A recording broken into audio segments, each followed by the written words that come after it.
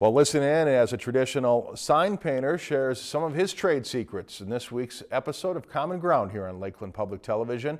Mike Meyer from Mazeppa, Minnesota, was invited to Crosby to create a two-story high mural on Main Street. The mural shows the link between the region's mining history and the adventure sports activity now happening in the old mine pits.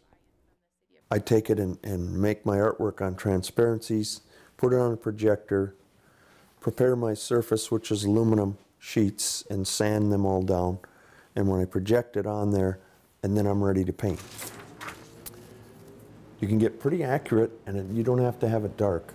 So I rely on this a lot. When I do my murals, like the ones that I did in, in Crosby, Ironton, Meyer has traveled across America and the world to paint murals with an organization known as the Walldogs.